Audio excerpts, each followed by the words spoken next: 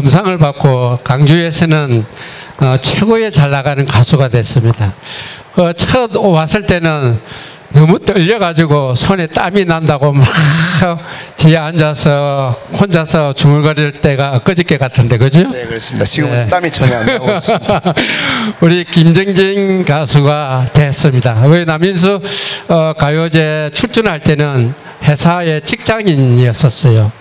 그런데 이 남인수 가요제에 아, 출전해서 금상을 받아서 눈물까지 흘렸던 분인데 오늘 가수증도 찾아가셨고 그죠? 너무나 활동을 많이 해주고 있으니까 남인수 선생님으로 강주에서 너무 많이 알려지고 있는 가수입니다. 큰 박수 한번 보내주시고 앵콜곡 한 곡더 듣겠습니다. 작년에 제가 입상했던 노래입니다. 추억의 소야곡. 여러분 너무 유명한 노래죠. 아시는 분 다 같이 손뼉 치면서 같이 불러주면 좋겠습니다. 감사합니다.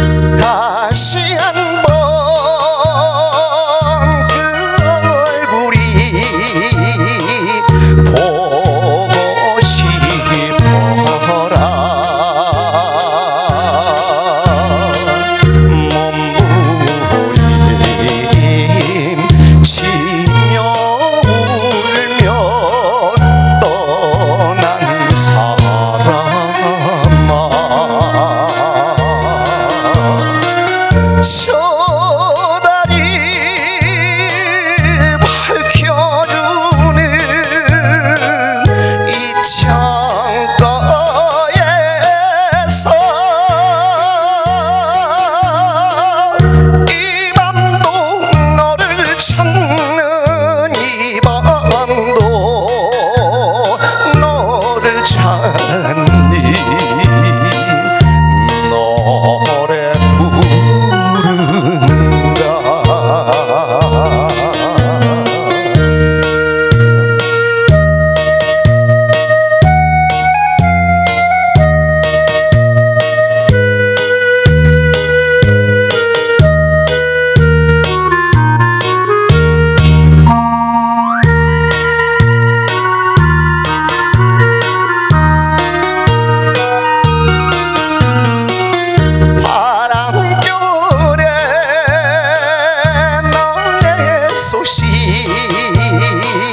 소